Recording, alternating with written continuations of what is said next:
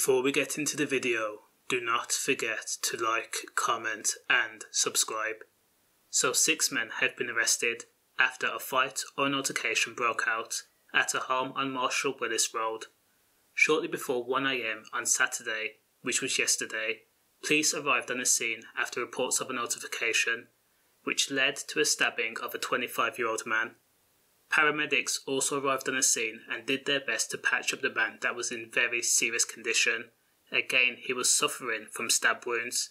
He was then transported to the hospital, but sadly he died hours later. Now, one of those six people are guilty of murder, and the fact that armed police were also on the scene, it seems to suggest that at the moment no one is cooperating, which is sad. Think about it. A 25 year old man lost his life, and the chances are people know what happened.